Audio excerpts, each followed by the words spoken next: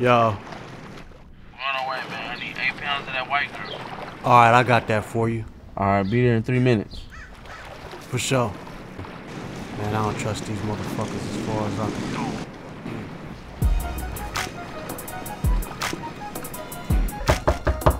Alright, hold on. Let me get the door.